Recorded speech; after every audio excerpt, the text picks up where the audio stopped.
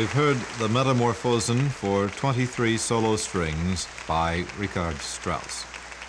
George Szell conducted members of the string sections of the Cleveland Orchestra.